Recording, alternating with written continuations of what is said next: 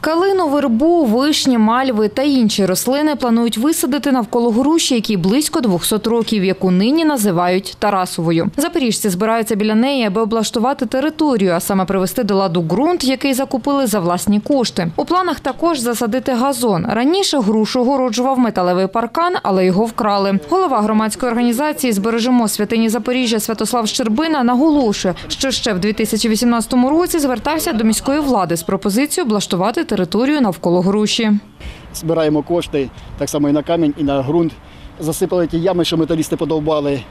І е, по- поставили поруч е, великий камінь. Хочемо е, зробити портрет Шевченка і рядки з Кобзаря і вказати, е, що це місце, де перебував Тарас Шевченко, а з цієї сторони вказати е, рішення обласного виконкому ще 1982-83 рік, іде рішення, е, два документи мають ці є.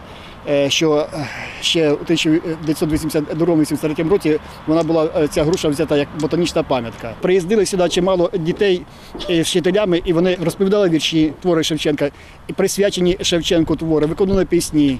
І е, тоді долучалися якось е, школяри. На сьогоднішній день е, що відповідальності ніхто не несе, і організація, як сказати, щоб вшанувати Шевченка, це дякуючи те, що є громадськість небайдужа, яка збирається тут і проводить. Можна ж і давати інформацію тим екс- екскурсоводам, які їдуть хоча б в автобусах оголошення такі робити, що Тарасова груса, якщо вони їм тяжкувато вийти, тобто, умовно кажу.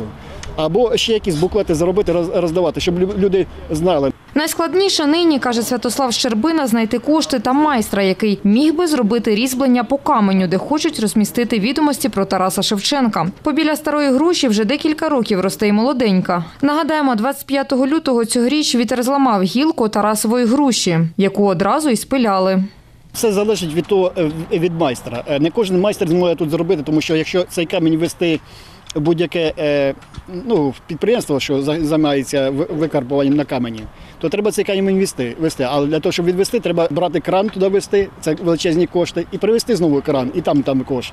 І ми хочемо знайти ту людину, е, щоб, яка змогла би е, тут на місці е, вибити цей напис, не так, щоб воно примітивно було, а щоб було, було худо, на художньому рівні. Запоріжець Полян Франко хотів би зробити на груші на місці зламаної гілки портрет Кобзаря. Я зніму шкуру з нього, шкіру. А саме з цієї груші, правильно? Це, звичайно, отак, такий, отак, отака подгілка гілка така крупна. Я думаю, це з нього вирізати е, е, скульптуру. Груша, яка зараз називається Тарасовою, є ровесницею дерева, під яким колись спав Тарас Григорович Шевченко, котрий в 1843 році гостював в обійсті місцевих жителів Булатів. Подвір'я декількох родин вознесенівців Булатів знаходилося на місці сучасної забудови від району палацу спорту Юність до бульвару центрального у Запоріжжі. Тому груша, про яку зараз йде мова, згідно досліджень істориків, не має стосунку до Тараса Шевченка, зазначив кандидат історичних наук Сергій Пілівненко. До документа список пам'яток природи місцевого значення груша, яка нині росте в Вознесенівському районі Запоріжжя і яку зараз називають Тарасовою, була внесена у 1982 році. Росла вона на подвір'ї садиби місцевого жителя Штепи. Щодо локалізації, е, кілька разів намагалися встановити. Е, Останній раз це робилося е, два роки тому назад. Відповідно. До досліджень, які провів Юрій Петрович Князьков, е, було встановлено, що е, дана груша, даний об'єкт е, знаходиться поза межами, де були обійстя власне булетів. Груша останній раз, начебто під якою ночував Тарас Григорович, фіксувалася по провулок Перекопський. Це сучасний територія сучасного дитячого садка. Це журавлик, здається. Сучасна пам'ятка, яка є, е, вона ну, встановлена, власне, визначена як Тарасова груша, наскільки я розумію, вже в 90-х роках. І ніякого відношення до тієї, під якою ночував Тарас Григорович, немає. Але ну цікава пам'ятка дійсно періоду Вознесенки.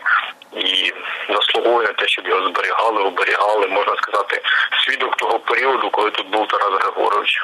Територія, де росте Тарасова груша, з 2019 року перебуває в оренді приватного підприємства «Стерк», яке планує побудувати там торгівельно-розважальний комплекс. Власником ж її є громада Запоріжжя. Тому минулого року запоріжці збиралися, аби обговорити подальшу долю дерева. Щодо цього питання, цьогоріч також мають відбутися громадські слухання, зазначив голова громадської організації Запорізька правозахисна ліга Універсал Денис Тарасов. ми подали зауваження пропозиції, де е, включили зокрема такий пункт, що перше це зберегти пам'ятку природи Тарасова грушу та забезпечити охоронну зону навколо навколо неї не менше 15 метрів. Е, Друге, така також звучала ініціатива. Це поруч з Тарасовою грушею створити історико-культурний комплекс, що буде родзинкою цього торгово-розважального центру та додатково приваблювати туристів Журналісти Суспільного нині направили інформаційний запит та чекають на офіційну відповідь від прес-служби облдержадміністрації, чи є Тарасова груша пам'яткою і чи будуть повертати територію державну власність. Тим часом Святослав Щербина, голова громадської організації Збережемо святині Запоріжжя, хотів би облаштувати місцевість навколо груші, покласти плитку, поставити лавки, аби люди могли безперешкодно приходити сюди та згадувати великого українського письменника. Маргарита Галіч, Андрій Варіонов. Новини на Суспільному. Запоріжжя.